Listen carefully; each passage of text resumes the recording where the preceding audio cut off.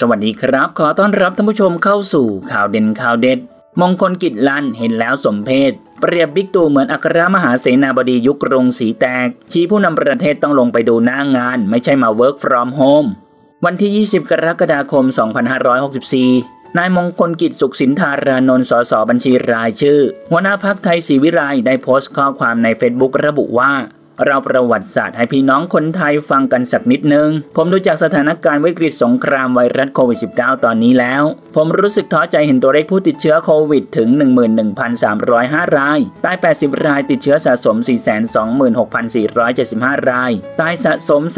3,502 ราย ของจริงน่าจะมากกว่านี้ 2-3 เท่า ที่รอคอยเตียงจนตายคาบ้านรอออกซิเจน รอยาฟ้าทลายโจรรอคอยวัคซีนรอตรวจหาเชื้อ อีกทั้งนักรบด่านหน้าคือแพทย์พยาบาลบุคลากรทางการแพทย์ มีแค่วัคซีนซิโนแวคที่ฉีดมาหลายเดือนแล้วภูมิคุ้มกันหมด ติดเชื้อเป็นจำนวนมาก พยาบาลฆ่าตัวตายแพทย์ด่านหน้าจะไม่ไหวแล้ว สิ่งเหล่านี้ดูแล้วรันทดใจ ยิ่งมาเห็นผู้นำทัพอย่างพลเอกประยุทธ์จันโอชานายกรัฐมนตรี Work from Home ร้อยเปอร์เซ็นต์เก็บตัวอยู่ที่บ้านรอหนึ่งรออทม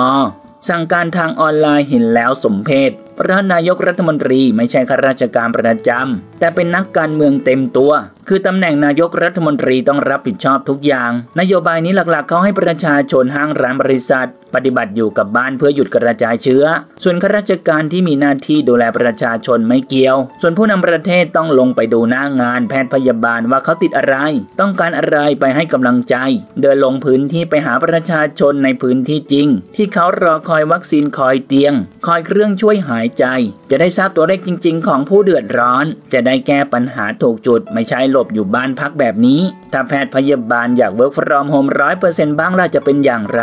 เหตุการณ์ปัจจุบันนี้คือศึกสงครามไวรัส นักรบด่านหน้าต้องการวัคซีนที่คุณภาพสูงเอาไว้ป้องกันตนเอง เหมือนมีปืนใหญ่มีปืนไว้ปกป้องตัวเองจะได้ดูแลประชาชนได้ เขาต้องการอุปกรณ์ทางการแพทย์ต่างๆ ที่จำเป็น ต้องการกำลังสนับสนุนทุกอย่าง เหตุการณ์แบบนี้ทำให้ผมนึกถึงวีรกรรมของชาวบางระจันที่ต้องการหาปืนใหญ่ไว้ป้องกันข้าศึกก่อนบุกเข้ากรุงศรีอยุธยา แต่ก็ไม่ให้ปืนใหญ่มา ให้แบบมาหล่อปืนเองเพราะประหยัด ส่วนในกรุงก็ห้ามพระยาตากยิงปืนใหญ่ไปยังข้าศึกเพราะกลัวเสียงดังรำคาญ ไม่ต้องยิงเดี๋ยวน้ำหลากข้าศึกก็กลับไปเอง ส่วนอัครมหาเสนาบดีขณะนั้นก็ work from home เหมือนนายกรัฐมนตรีคนปัจจุบัน สุดท้ายกรุงศรีอยุธยาก็แตกเป็นเมืองขึ้นแก่พม่าไป